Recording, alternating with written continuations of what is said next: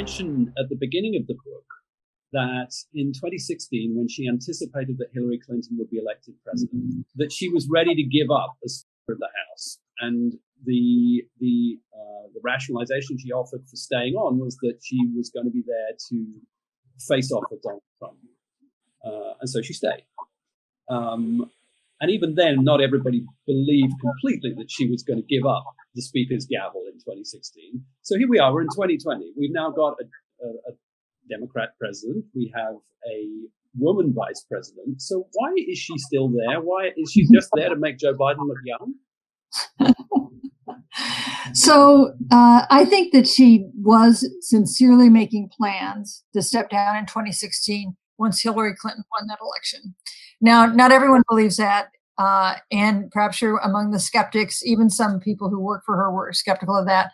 But I think she was ready uh, to step down and was making plans to do so um, and decided to stay because she knew that she would bring a set of experiences and skills to standing up to Donald Trump that Democrats were going to need.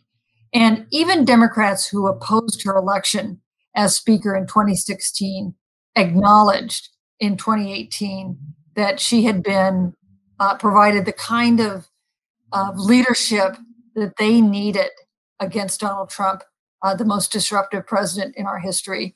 And then she, I think she's now has one more term as speaker. I'm pretty sure.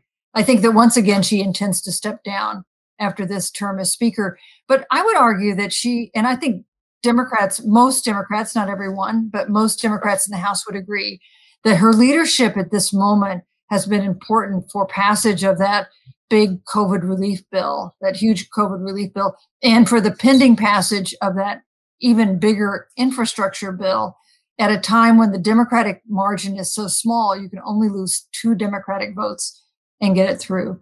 But there is, you know, she's 81 years old. The three top leaders in the House are all in their 80s. There is, I think, an assumption that it is time for Democrats to move to a new generation of leadership when this Congress is over. Do you think when she uh, decides to stand down as Speaker, then kind of the gloves will come off in the Democratic Party between the, the, the very progressive left and the more conservative Democrats? Has she been holding that together? Clive, that's such a good question because absolutely. I think we'll see. There's no obvious successor. There are a half dozen people uh, who credibly could seek the job and seem to be interested in it. And I think we are likely to see a candidate from the Democratic Center and a de- candidate from the Democratic left, from the squad wing of the party. Uh, and that who wins uh, contest to lead the Democrats will tell us a lot about where the party is and where it's going.